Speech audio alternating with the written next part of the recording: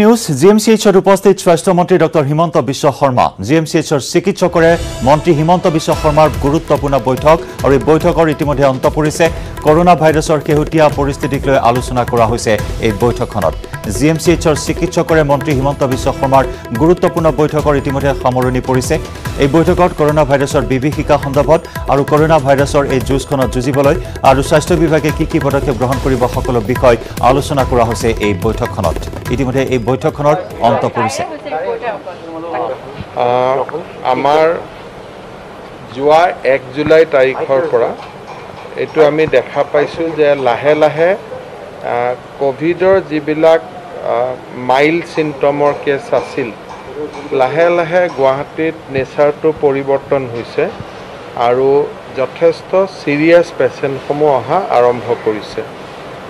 আজিৰ দিনত আমাৰ প্ৰায় চল্লিছজন পেচেণ্ট আই চি ইউত আছে আৰু প্ৰায় ত্ৰিছগৰাকী পেচেণ্ট আই চি ইউত নাই যদিও বিশেষকৈ আমাৰ আই চি ইউৰ অসুবিধা হোৱাৰ কাৰণে কিন্তু তেওঁলোক যথেষ্ট গুৰুতৰভাৱে অসুস্থ হৈ আছে।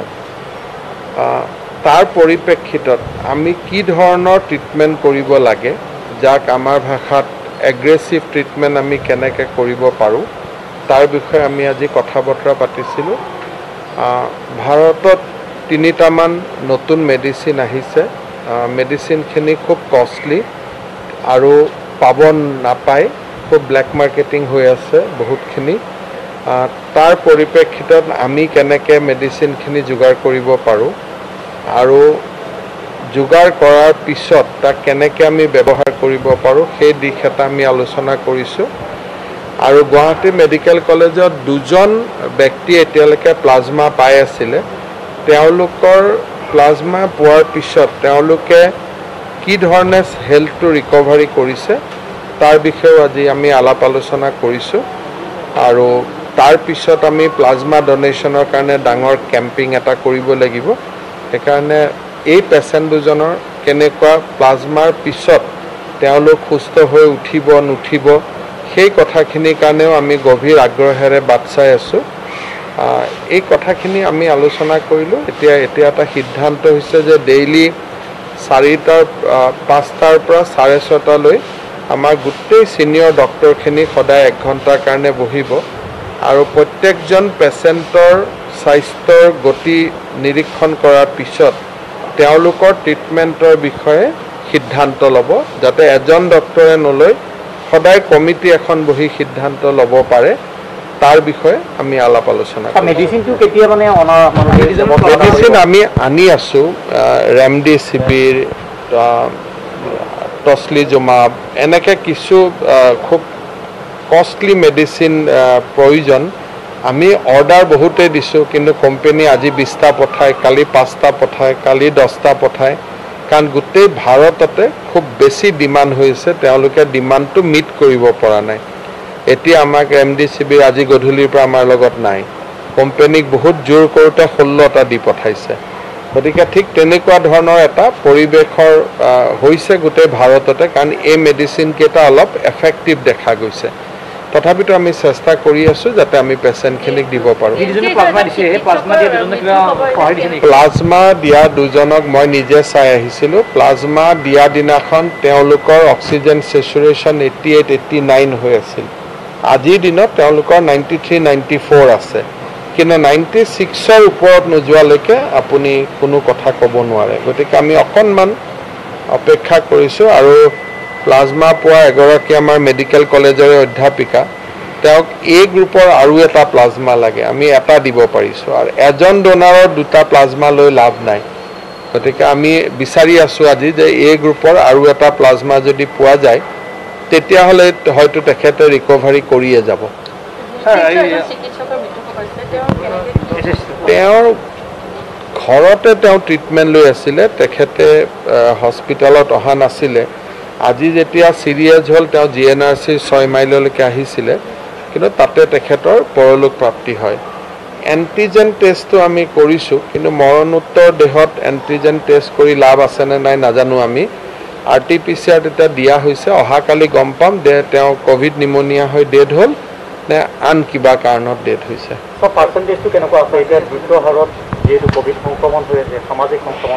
এতিয়া গুৱাহাটীত অলপ ষ্টেবল হৈছে কিন্তু পেচেণ্টৰ কেৰেক্টাৰটো বদলিছে। আগতে যেনেকৈ মাইল্ড পেচেণ্ট আহিছিলে আমিও ভাবিছিলোঁ যে এইটোনো কি বেমাৰ এটা যিটো ধাৰণা আছিলে তাৰ পৰিৱৰ্তে এতিয়া যথেষ্ট ছিৰিয়াছ পেচেণ্ট মেডিকেল কলেজত আহিছে।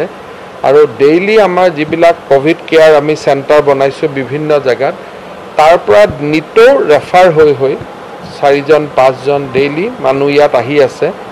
তাতে যেতিয়াই অক্সিজেন ফল কৰে আমি তেওঁলোকক ইয়াত লৈ আহোঁ। I C U I C আমাৰ ফিফটি আই চি ইউ তাৰে চল্লিছটা কাৰ্যক্ষম হৈ আছে দহটা আজিকালিৰ ভিতৰত আৰু কাৰ্যক্ষম হৈ যাব।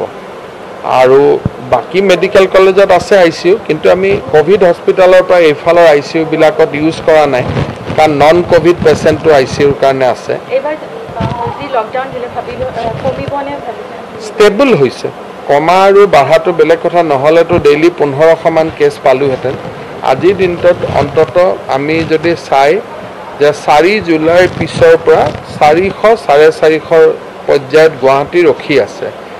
তাতকৈ কম আমি পালোহেঁতেন কিন্তু পুলিচ সেনাবাহিনী বি এছ এফ আৰু গুৱাহাটী জেল তাৰ পৰা বহুত নাম্বাৰ আহি আছে। ৰাইজৰ মাজত অলপ কমিছে কিন্তু একেলগে অলপ বেৰেকত থকা মানুহবিলাকৰ পৰা ক'ভিডৰ সংখ্যাটো বাঢ়িছে। গুৱাহাটীৰ মানে যিটো লকডাউন লকডাউন পাণ্ডু এলেকা বা বিভিন্ন ভিতৰুৱা এলেকাত লকডাউনৰ কোনো চিন্তাপ নাইকিয়া বহুত মানে ওলাই আহিছে কিবা ক'ব নেকি তেওঁলোক মই এইটোৱে ক'ম যে যদি আমি আকৌ ওলাই আহোঁ আকৌ মাস্ক নিপিন্ধোঁ আকৌ যদি ছ'চিয়েল ডিষ্টেঞ্চ নাৰাখোঁ তেতিয়া বাধ্য হৈ চৰকাৰে লকডাউন দিবলগীয়া হয়। কিন্তু যদি মাস্ক পিন্ধি থাকোঁ ছ'চিয়েল ডিষ্টেঞ্চ মেইনটেইন কৰোঁ তেতিয়াহ'লে লকডাউনৰ প্ৰয়োজনীয়তা নাথাকে। সেইকাৰণে মই ভাবিম যে মহানগৰীত আমি আকৌ এবাৰ ভুল কৰি আকৌ এবাৰ লকডাউন মাতি আনিব নালাগে। কাৰণ যেতিয়া মৃতদেহ বাঢ়িব চৰকাৰেতো বাধ্য হৈ লকডাউন দিব লাগিব। কিন্তু যদি সকলোৱে মাস্ক পিন্ধে সামাজিক দূৰত্ব মানি চলে তেতিয়াহ'লে লকডাউনৰ প্ৰয়োজনীয়তা নোহোৱা হৈ যায়। সেইকাৰণে মই মহানগৰী ৰাইজক আবেদন কৰিম যে প্ৰাথমিক নিয়মখিনি আপোনালোকে মানি চলক যাতে আমি লকডাউনৰ দৰে ব্যৱস্থা আৰু বঢ়াবলগীয়া নহয়। আমি সৰু ল'ৰা ছোৱালীৰ কাৰণে এম এম চি এইচত শিশুসকলৰ কাৰণে হস্পিটেল এখন কৰাৰ কাৰণে আমি চেষ্টা কৰি আছোঁ। কালি মই গৈছিলোঁ। অহাকালিৰ পৰা পি ডাব্লিউ ডিপাৰ্টমেণ্টে কাম আৰম্ভ কৰিব চাৰি পাঁচদিন লাগিব। আজি ক'ভিডৰ আমাৰ যিবিলাক ক'ভিড কেয়াৰ চেণ্টাৰ য'ত মানুহে নৰ্মেলি দি আছে তাতে পাৰ্চেণ্টেজটো ষোল্ল সোতৰ শতাংশত থাকে। কিন্তু গুৱাহাটী জেলত কালিৰ পৰা আজিলৈকে প্ৰায় পঞ্চাছজন লোকৰ হৈছে। আকৌ ফিফটি ওৱান চাব এৰিয়াৰো তাতে হস্পিটেলতো কিছু হৈছে। গতিকে এইকাৰণে হৈছে কি যে ৰাইজৰ মাজত কমিলেও আৰক্ষী অৰ্ধসামৰিক বাহিনী জেল একেলগে য'ত অলপ হোষ্টেল ধৰণে ল'ৰা ছোৱালী থাকে বা মানুহ থাকে তাতে সংখ্যাটো কমা নাই।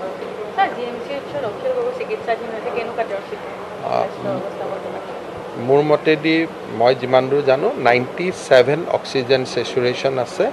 আজি কিমান আছে? নাইণ্টি ছেভেন কিমান আছে অক্সিজেন নাইণ্টি ছেভেন চেচুৰেশ্যন আছে আৰু টেম্পাৰেচাৰ নৰ্মেল আছে আৰু স্বাস্থ্যৰ মোৰ লগত আছে মই ৰিপৰ্টটো কৈ দিছোঁ ৰ'ব আপোনালোক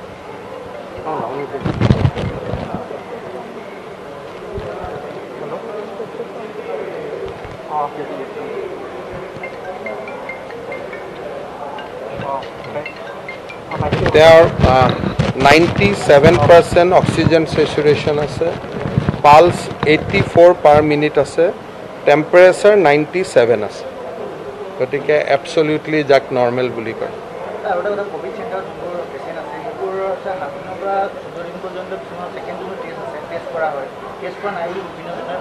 দহ দিনত টেষ্ট হয়। তেনেকুৱা হ'ব নোৱাৰে। যদি তেওঁলোকৰ আজিকালি দহ দিনৰ মূৰত গধূলি চবক মাতি আনি আমি টেষ্ট কৰোঁ। যদি কাৰোবাৰ পজিটিভ হৈ থাকে তেওঁক আৰু ছয়দিন বা পাঁচদিন পিছত টেষ্ট কৰা যায়। গতিকে এনেকুৱা পেচেণ্ট হ'ব এইসকল যোনে দহ দিনত আকৌ পজিটিভ হৈ আছে। আৰু দহ দিনত পজিটিভ হ'লে আকৌ এঘাৰ বাৰ দিনত আমি নকৰোঁ তেতিয়া আকৌ চৈধ্য দিনত কৰিম। কিন্তু ইউজুৱেলি আমিওতো ডিছচাৰ্জ দি ভাল পাওঁ। গতিকে কোনোবা যদি পেচেণ্ট তেনেকুৱা নাম আছে আমাক ক'লে হ'ল আমি লগে লগে কৰি দিম।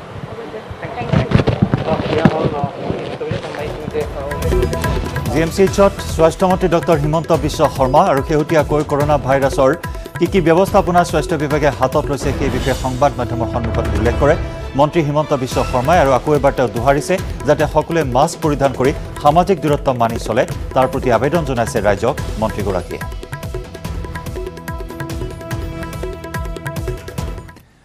চিটি এইটিনৰ পৰৱৰ্তী অংশলৈ যোৱাৰ পূৰ্বে সময় হ'ল এটি চমু বাণিজ্যিক বিৰতিৰ।